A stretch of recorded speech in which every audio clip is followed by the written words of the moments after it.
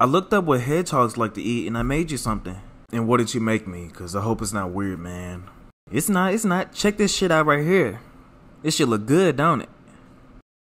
See, I told you, that's good. what the fuck is this shit? Uh, actual shit? Ugh, fuck you, dog. You piece of shit. Breaking news, breaking news. There seems to be a hedgehog running down the street. We go to the people to see what they gotta think about it. We had that bitch in custody. Now he gone run down the street. He's stupid as fuck. That thing ran past me, looked at me, ran again. If that thing comes near my house, all I know is I'm blasting that thing back to where it came from. Real talk.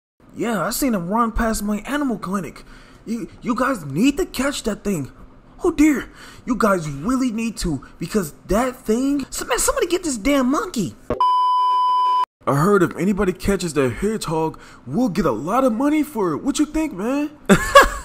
hey, we gonna be rich, bro. We gonna be rich. Hey, Rhonda still be messing with you? Hey, we off and on, man, for real. Like I had her at. Is that a yo? Oh my god! What is that? The fuck you looking at? Looking like a dried up toenail. What you doing over here? Stop looking at me, bruh. Get out my face. Hoe ass motherfucker. Damn, we lost him.